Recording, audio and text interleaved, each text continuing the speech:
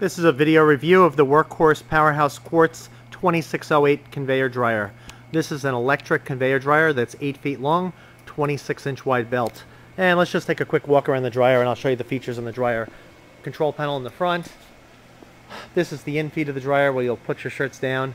And I want to show you quickly inside the dryer. Ah, let's see if we can get our camera in here.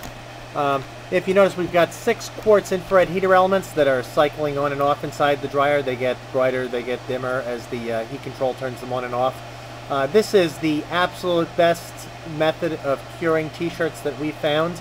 These infrared uh, quartz elements dry shirts much faster, cure the ink much deeper uh, than conventional ceramic panels. So you get a lot of throughput. This 8-foot dryer is going to give you approximately 200 to 225 shirts per hour very comfortably. Uh, maybe even more if you creatively fold the shirts on the uh, extra wide 26 inch belt. Uh, we've heard people that have run uh, small automatics off these dryers, but uh, that's not optimal. At the outfeed of the dryer, we have a very unique venting system. Uh, we put a hood at the end of our dryer, this piece right here, okay? And there's a 8 inch hole in the center here where you would then mount your ductwork to exhaust out the dryer. And most people, if it's any kind of a run, uh, to get out of their shop would then take and put a, a small inline fan uh, with a rheostat that's not included. You can get them at Home Depot for just a few dollars, uh, you know, under 50 bucks, and uh, just attach it on there. Uh, what this will do, uh, most people don't put their vents at the end of the dryer like this. They put them in the middle. I don't know why, but uh, what we do here by putting them on the end, the benefit is as the shirts come out of any conveyor dryer, they've got a little bit of moisture, a little bit of smoke coming off of them. Uh, we're able to capture that and get that out of your shop.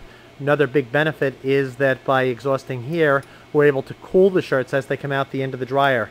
Uh, by cooling the shirts here, it means they can fall into your box uh, that you're catching them in at the end of the dryer uh, without them uh, being all hot and having the ink stick, stick together so much. So this is a pretty unique uh, way of, uh, of, venting that is unique to Workhorse.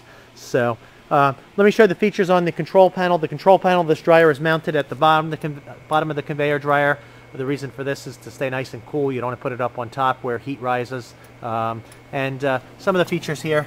Uh, most important, first off, digital temperature control. Check that digital temperature control out. The red at the bottom, 330, that is our set temperature. 330 degrees in green on the top, that is the temperature the dryer is actually reading right now. And uh, if you notice there's a little green light here that keeps going on and off that's to the left of that. Um, and that little green light will go on and off that is the temperature controller calling for heat and turning the elements on and off, regulating the temperature. So we have a couple buttons here. Um, one, this is a new feature added to this dryer. You have the uh, reverse uh, switch. The reverse switch will turn the belt forward and reverse. Um, you lose the ability to use the, to gain all the benefits off the uh, exhaust uh, hood by going in reverse. So I recommend that you run the dryer in forward but sometimes you want to run a uh, you want to run a job or a machine on one side of the press and then maybe a small machine on the other side of the press and flip-flop between jobs. Uh, the other adjustment here is the belt speed. Uh, belt speed can vary. Uh, let me show you what fast is on this dryer.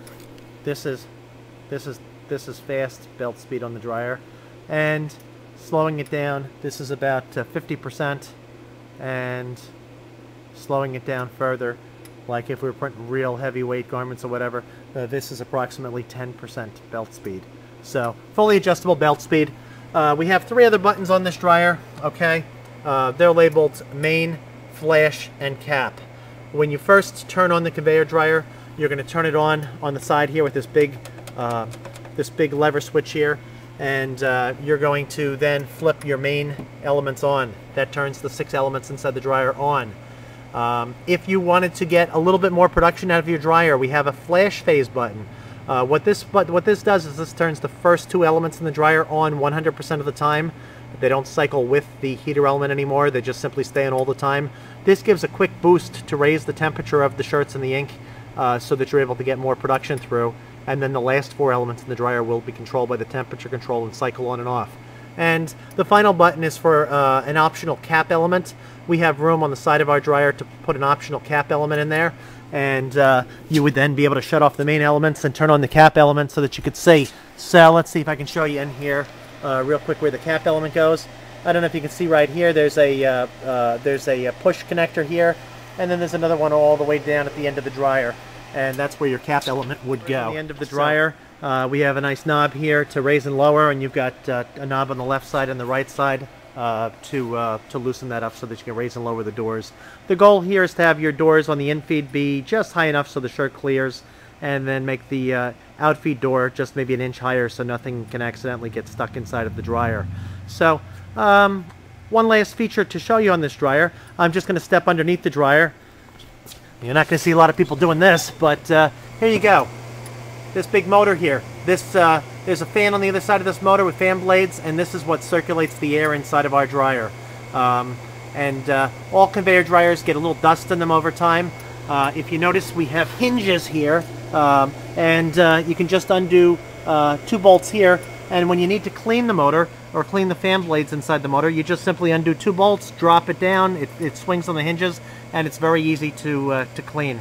That's a thoughtful feature that Workhorse has. So while I'm down here, I'll also, let's just take a look at the legs on this dryer. Nice, uh, sturdy, sturdy legs with double supports on them. And you're gonna ask me what is this little J that's, uh, that's cut out here.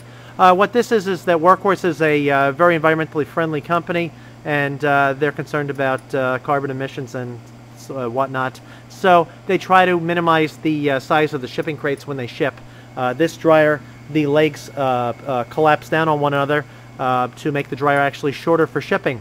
Able to use a smaller crate. the benefit for you is less cost to ship. So um, this dryer breaks down. And also when these dryers ship, the in-feed and the out-feed uh, sections are removed and the belt is removed. That helps to also get the, uh, the width of the crate down shorter.